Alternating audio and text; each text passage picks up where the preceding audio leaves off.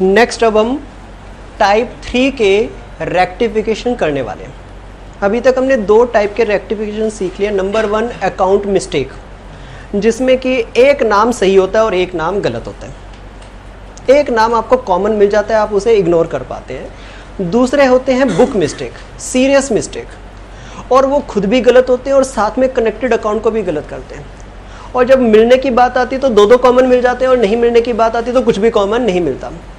अब आ जाते हैं तीसरी मिस्टेक। तीसरी मिस्टेक जो है, वो जर्नल एंट्री की मिस्टेक नहीं है। टोटलिंग की मिस्टेक है। आपने किसी अकाउंट का टोटल कम या ज़्यादा कर दिया। मतलब होना चाहिए था टोटल कुछ। आपने सिर्फ़ उसके टोटल में गलती किया पहली बात, हमारे अकाउंट्स में टोटल करने की क्या जर्नल एंट्री होती है? हम ट्रांजैक्शन की तो जर्नल एंट्री करते हैं, इवेंट की तो जर्नल एंट्री करते हैं, टोटल की जर्नल एंट्री नहीं करते, बस टोटल करते हैं। लेकिन उस टोटल के अंदर गलती अगर हो जाए तो रेक्टिफिकेशन के लिए जर्नल एंट्री की ज़रूरत पड़ जाती है। एक और चीज़, क्योंकि टोटल की जर्नल एंट्री नहीं बनती है, इसलिए इसके रेक्टिफिकेशन तक पहुँचने के लिए जो वर्किंग नोट हम बनाते हैं, जिसमें हम क्या लिखते थे कि करेक्ट एंट्री क्या होगी, रॉन्ग एंट्री क्या होगी तो भाई टोटल की तो ना कोई करेक्ट एंट्री होती है, और ना ही कोई रॉन्ग एंट्री। आपको टोटल के मिस्टेक को थोड़ा अलग तरीके से वेरीफाई और एनालिसिस करना पड़ेगा। टोटल के अंदर सिर्फ़ दो ही टाइप की मिस्टेक हो सकती है। या तो टोटल आपने जो होना चाहिए उससे कम कर दिया होगा, और या तो जो टोटल होना चाहिए उससे ज़्यादा कर दिया होगा।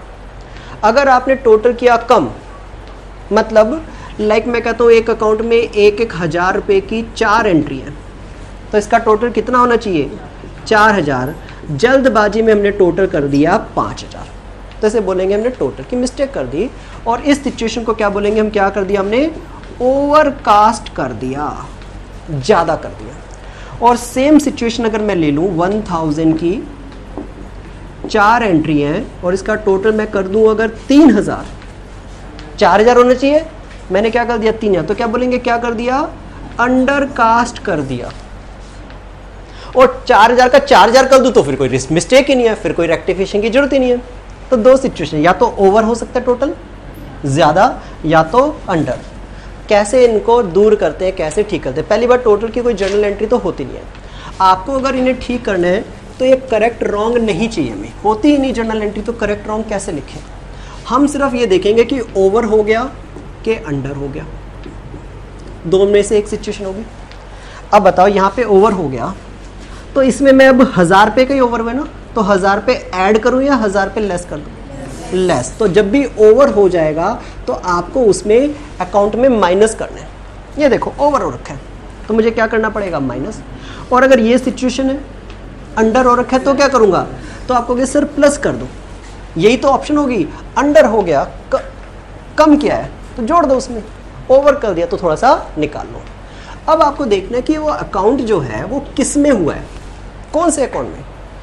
कुछ अकाउंट की तो नेचर आपको पहले से पता होती है कि भाई ये वाला अकाउंट है तो डेबिट होगा या क्रेडिट। अकाउंट का मतलब जो इसमें गलती हुई है, वो डेबिट में गलती हुई है या क्रेडिट में।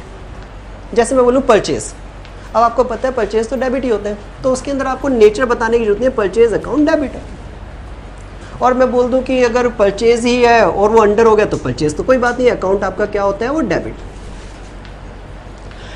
अब इसके अंदर ठीक कैसे करेंगे, ये जरा समझ लेना। कोई भी अकाउंट अगर ओवर चला गया तो हमें इसका मतलब माइनस वाला इफ़ेक्ट रेक्टिफिकेशन में डालना है। ठीक है ना? डेबिट अकाउंट कोई अगर बाई चांस ओवर चला गया तो मुझे क्या करना है? रेक्टिफिकेशन में माइनस करना है। और अकाउंट में माइनस करने का क्या मतलब होता है? अगर डेबिट कोई अकाउंट है और उसे माइनस करना है तो क्या कर दो? क्रेडिट कर दो।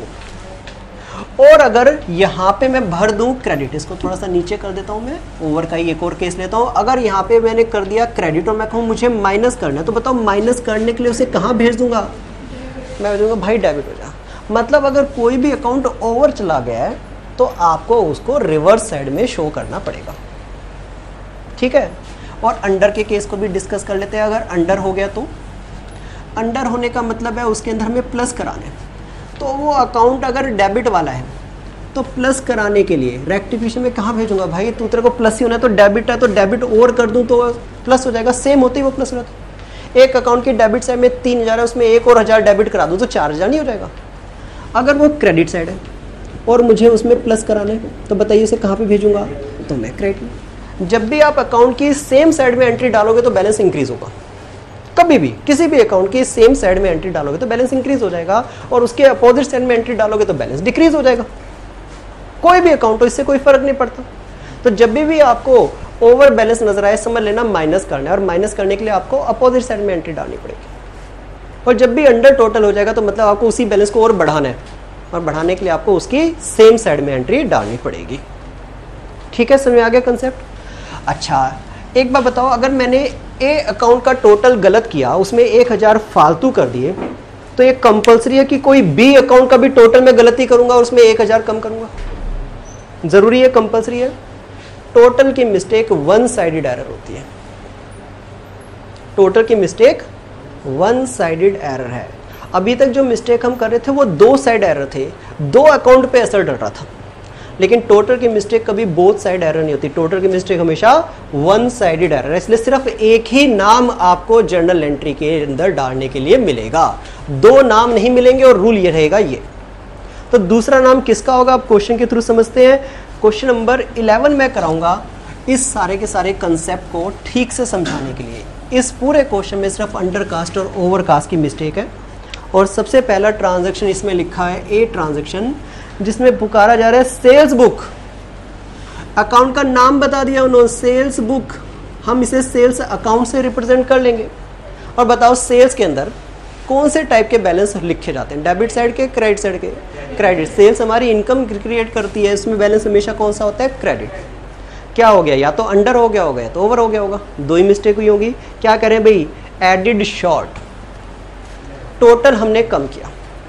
तो भाई प्लस करना पड़ेगा। अंडर कास्ट बैठे तो अंडर होके बैठा है। अंडर माने शॉर्ट चल रहा है। तो जो चीज़ शॉर्ट चल रही है, उसमें क्या करेंगे?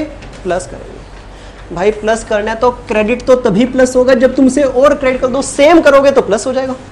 माइनस करना है तो अपोजिट कर दो। सिर्फ़ एक ही नाम आपको मिलेगा। भाई सेल्स तुझे क्रेडिट में जाना पड़ेगा। हम रेक्टिफिकेशन बनाएँगे। यहाँ पे लिखेंगे क्रेडिट साइड में टू सेल्स अकाउंट कितना? कितना अमाउंट क्वेश्चन में गिवन था? 150 सिर्फ़ क्रेडिट में सिंगल साइडेड एरर है। टोटल की मिस्टेक बहुत साइड एरर नहीं है, एक ही नाम चाहिए अभी, और एक नाम हमें मिल गया। लेकिन ऐसी जर्नल एंट्री हम छोड़ नहीं सकते, ऐसी। ध्यान से समझ लेना, इस गलती ने कहाँ असर डाला होगा।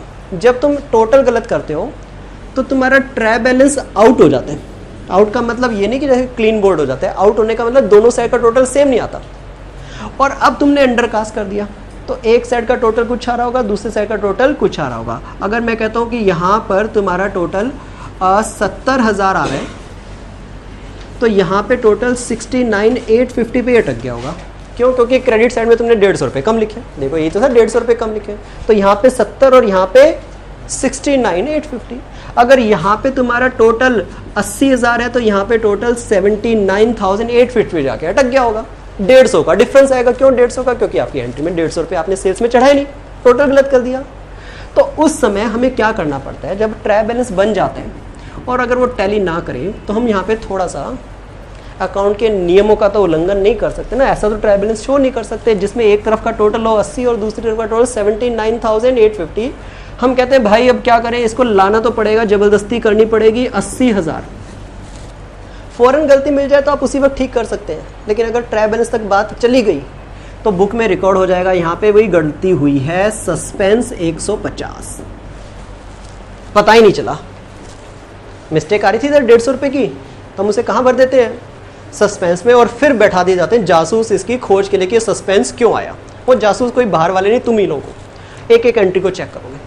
और जिस दिन तुम्हें तुम्हारी गलती मिल जाएगी उस दिन इस सस्पेंस को हम उस मिस्टेक से ठीक कर देंगे। मिल गई गलती? क्या किया था तुमने सस्पेंस को जब मिस्टेक क्रिएट हुई थी? क्रेडिट करके तुमने सस्पेंस को क्रिएट कर दिया था यहाँ पे, नहीं?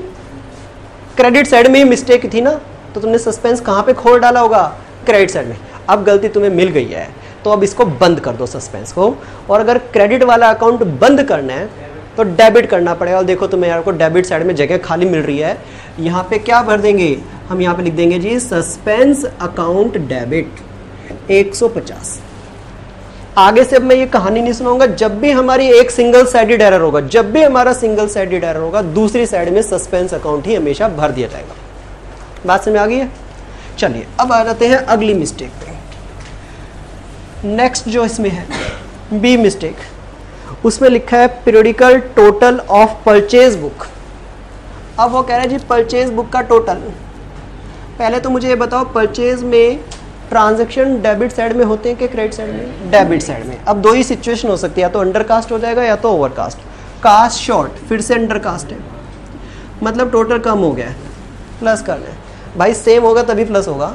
माइनस के लिए अपोजिट तो हम कहेंगे, भाई परचेज ऐसा कर, तू चला जा डेबिट साइड में। और सिंगल साइड एरर सिर्फ़ एक ही नाम चाहिए और वो नाम मिल गया है। कहाँ पे जाएगा वो नाम? डेबिट साइड में। हम परचेज अकाउंट को डेबिट करने वाले हैं। परचेज अकाउंट डेबिट कितने से? पचास रुपये दूसरा नाम लापता ही होगा। और हमें पता है उसने सस्पेंस क्रिएट कर दिया होगा हमारे ट्रैप बैलेंस के अंदर, इसलिए क्या नाम लिख देंगे? To suspense account rupees fifty और नरेश में भर देंगे पूरी बात और लास्ट में लिख देंगे नाउ रेक्टिफाइड ठीक है? ये आसान है, इसमें बिना जर्नल एंट्री के डायरेक्ट रेक्टिफिकेशन हो जाएगा। अगर ओवर लिखा होता तो मैं माइनस करता। तो मैं परचेज को कहाँ भेज देता? क्रेडिट से। भाई परचेज तो क्रेडिट में चला तो डेबिट में सस्पेंस आ जाता। अगली entry C entry total of purchase return book purchase return जो बैलेंस परचेज में होगा, उसका अपोजिट ही रिटर्न में होगा। और परचेज में अगर डेबिट है तो रिटर्न में क्या होगा? क्रेडिट क्या हो गया भाई? साफ़ साफ़ लिखा है अंडर कास्ट हो गया। तो प्लस करना पड़ेगा। तो इसे कहाँ भेजेंगे भाई? सेम होगा, तभी प्लस होगा तो ये क्रेडिट में जाएगा। तो ये क्रेडिट में जाएगा डेबिट तो सुनसान रह जाएगा, क्योंकि सिंगल साइडेड तो हमें पहले से पता है कौन आएगा डेबिट में? सस्पेंस हमारी एंट्री बनेगी suspense account debit to purchase return कितने से? रुपीज़ थ्री हंड्रेड और उसके बाद डी एंट्री। जिसमें क्या लिखा है sales return book added short sales return बताइए सेल्स रिटर्न में कौन से टाइप का बैलेंस होगा? जो सेल्स में था, उसका अपोजिट होगा। सेल्स क्रेडिट होती है तो रिटर्न डेबिट होगी। ये भी शॉर्ट है मतलब क्या चल रही है? अंडर कास्ट अब डेबिट है अंडर कास्ट चल रही है प्लस करना पड़ेगा। तो डेबिट वाले को प्लस करने के लिए कहाँ दिखाना पड़ेगा? डेबिट में। सेल्स रिटर्न तो डेबिट में आ जाएगा।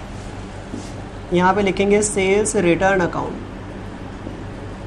डेबिट में कितना? 200 क्रेडिट में तो कुछ भी नहीं आ पाएगा क्योंकि सिंगल साइडर है। तो कौन सा वाला नाम लिखेंगे? सस्पेंस अकाउंट भर देंगे। रुपीज़ टू हंड्रेड और नरेश में लिखेंगे being sales return book undercast rupees two hundred now rectified ठीक है? एक इसमें ओवर का भी कर लेता हूँ। अगला क्वेश्चन अगर देखोगे तो इसमें ट्वेल्थ की ए एंट्री इसी में ऐड कर रहा हूँ मैं। सिर्फ़ एक, दो एंट्री ट्वेल्थ की कर लेते हैं, जिससे कि ओवर का कंसेप्ट आ जाए। इसमें अंडर ही थे सारे। आगे लिखे है return inward book overcast